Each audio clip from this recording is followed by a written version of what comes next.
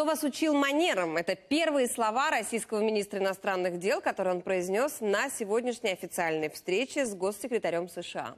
Кого Сергей Лавров учил сегодня хорошему тону и каких результатов ждут от его беседы с Рексом Тиллерсоном? Подробнее Дмитрий Анопченко из Вашингтона. Они проговорили пять часов и вместе с делегациями, и один на один, и во время ланча. В отличие от Бориса Джонсона, Рекс Тиллерсон свой визит в Москву не отменил. Но все понимали, после химической атаки в Сирии диалог будет абсолютно иным, чем мог бы быть еще несколько дней назад. Пресса писала, что госсекретарь везет в Москву ультиматум. Москва заранее заявила, что, мол, язык ультиматумов с нами не работает.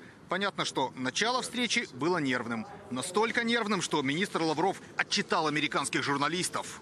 Эту ситуацию пресс-служба МИДа России уже назвала базаром, поведение прессы бесцеремонным. Я связался с журналистами, которые сопровождают сейчас Рекса Тиллерсона в этой поездке. И вот что выяснил. Дело в том, что в Соединенных Штатах принято, что даже во время протокольных мероприятий, когда понятно, что вопросы и ответы не предусмотрены, те, кто входит в журналистский пункт, те, кто постоянно освещает работу, к примеру, Госдепа или Белого дома, имеют право выкрикнуть вопросы. Ну а ньюзмейкеры уже сами решают либо несколько фраз кинуть, либо просто улыбнуться и продолжать позировать на камеру камеры. Так происходит во время большинства мероприятий здесь, в Вашингтоне, и в ходе визитов тоже. Но в Москве к такому не привыкли. И Лавров вспылил. Кто вас воспитывал? Кто вас учил манерам? Дальше были короткие заявления, которыми два министра открыли встречу. Журналисты, сопровождающие госсекретаря, говорят, что такой формат предложила российская сторона. Ведь если Тиллерсон и Лавров не договорятся по принципиальным моментам, то и выходить к прессе не с чем. А картинка диалога нужна. Слова обоих дипломатов были подчеркнуто безэмоциональными, если учитывать, что их встреча проходит на фоне одного из самых напряженных моментов в отношениях Кремля с новой американской администрацией. Главный месседж – мы постараемся выяснить позиции друг друга. Сегодняшняя встреча – важный момент в отношениях между нашими странами. Мы должны уточнить совместные цели и интересы. Да, у нас разные тактические подходы к решению проблем, но цели одни – Главная из этих целей – нормализация ситуации в Сирии. Накануне у прессы была возможность задать в телефонном режиме вопросы спикеру Госдепа Марку Тонеру. Он сказал, что на переговорах в Москве Тиллерсон очень четко заявит о необходимости ухода Асада.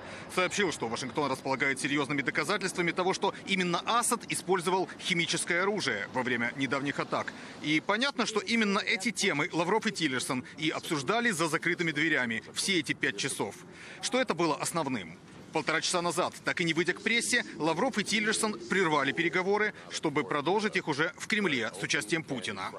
И еще один важный момент, о котором я обязательно должен сказать. Американская пресса попросила Госдеп прокомментировать слова, которые приписывают госсекретарю Тиллерсону. Якобы сказал он их во время итальянской встречи министров Большой Семерки. Сказал о том, что почему американские налогоплательщики должны заботиться о конфликте в Украине.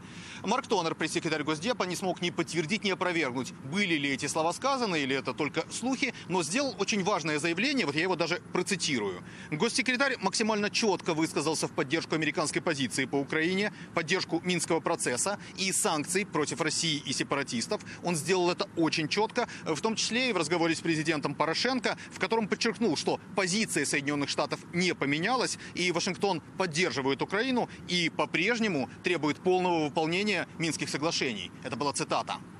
По всей видимости, в этом ключе Рекс Тиллерсон и высказывался в Москве. По крайней мере, в этом заверяют в Государственном департаменте Соединенных Штатов.